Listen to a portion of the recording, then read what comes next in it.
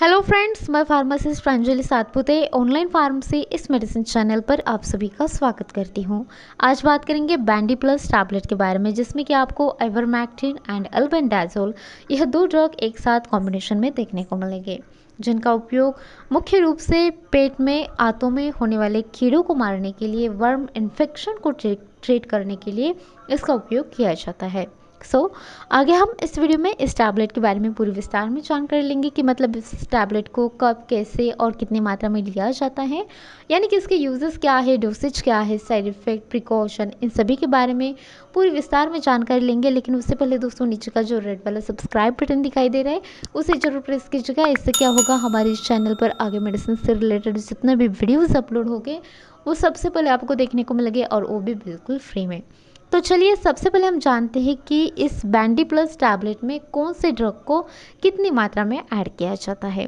तो दोस्तों, इस टैबलेट में आपको एवरमैक्टिन 6 मिलीग्राम के स्ट्रेंथ में देखने को मिलता है और एल्बेंडाजोल 400 मिलीग्राम के स्ट्रेंथ में देखने को मिलता है। तो दोस्तों, ये जो दोनों दवाइयाँ हैं, ये एंथलमेंटिक क्लास से बिलोंग करने वाली दवा है, जो पैरासिटिक यानी कि वर्म इन्फेक्शन को ट्रीट करने का काम करते हैं वर्म को परजीवी को किल करने का काम ये दवा करती है।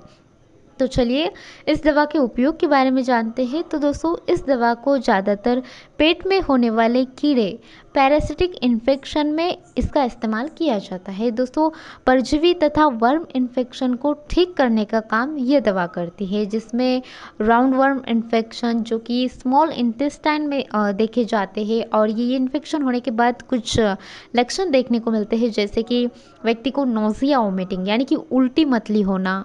इंटेस्टाइन में दर्द होना, उसके बाद स्टूल के साथ कुछ वर्म आना अपचन की समस्या मतलब खाया हुआ खाना ठीक से न पचना, ये कुछ समस्याएँ राउंड वर्म इन्फेक्शन में देखने को मिलती है। तो ऐसे टाइम पे डॉक्टर द्वारा इस दवा को प्रिस्क्राइब किया जाता है, साथ ही hook worm, thread worm whip worm, इन जैसे पैरासाइट इन्फेक्शन में भी इस दवा को दिया जाता है। इसके अलावा फिलेरियन इन्फेक्शन में भी इस दवा को दिया जाता है, जिससे कि फिलेरियसिस या फिर हत्ती रोग के नाम से भी जाना जाता है।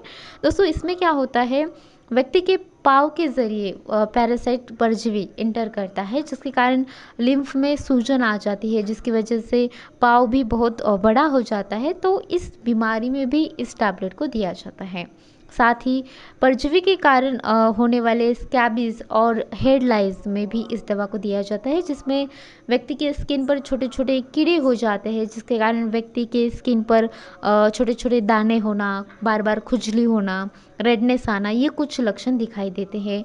और साथ ही सिर में होने वाले जुओं से छुटकारा पाने के लिए, लिखों से छुटकारा पाने के लिए भी इस टैबलेट को दिया जाता है।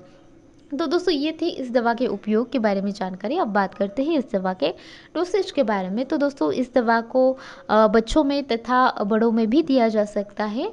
इसका जो डोज है, ये पूरी तरह से पेशेंट के बीमारी और उसकी सिवेरिटी पर निर्भर करता है। लेकिन नॉर्मल डोज की बात करें तो नॉर्मली इसे हफ़्ते में एक टैबलेट ली जाती है। और इस दवा को ज़्यादातर रात के टाइम सोने से पहले लेने की सलाह दी जाती है। और दोस्तों, ये जो दवा है, ये चुएबल टैबलेट होती है। इसे आपको डायरेक्टली यानी कि पानी के साथ निकलना नहीं है। आप इस टैबलेट को चबा कर ले। क्योंकि इस दवा को यदि आप चबा कर लेते हैं तो ये काफ़ी अच्छा वर्क करती है, काफ़ी अच्छा रिज़ल्ट देती है। तो चलिए आप जानते हैं इस दवा के साइड इफ़ेक्ट के बारे में। वैसे दोस्तों, इस दवा को लेने से कुछ खास साइड इफ़ेक्ट नज़र नहीं आते, लेकिन फिर भी कुछ लोगों में पेट में दर्द हो सकता है, पेट में गैस बन सकती है।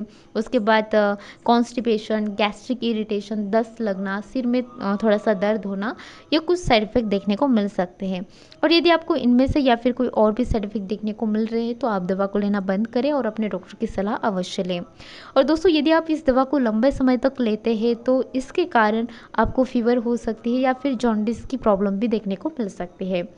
ध्यान रहे दोस्तों pregnant ladies and breast feeding woman इस दवा को कभी भी ना ले और यदि कोई इस दवा को लेना चाहता है तो वो पहले अपने डॉक्टर की सलाह ले, उसके बाद ही इस दवा का सेवन करे। तो चलिए दोस्तों, आज के वीडियो में बस इतना ही। I hope you like this video if so then don't forget to like share comments and of course subscribe our YouTube channel online pharmacy for medicine and health related videos thank you thank you for watching